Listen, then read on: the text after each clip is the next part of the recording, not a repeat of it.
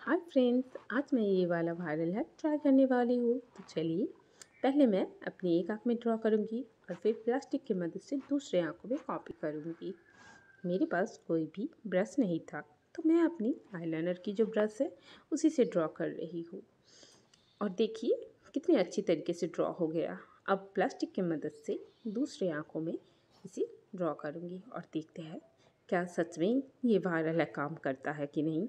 और वाह ये वायरल है काम कर गई।